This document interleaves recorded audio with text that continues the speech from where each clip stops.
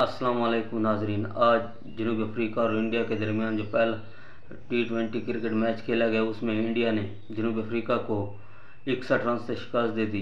जब इंडिया जनूबी अफ्रीका की टीम ने टॉस जीता और पहले फील्डिंग करने का फैसला किया तो इंडिया ने 202 रन बनाए, जिसमें संजू सैमसन ने सात चौके और दस छक्के लगाकर 107 रन की बहुत ही ज़बरदस्त इनिंग खेली।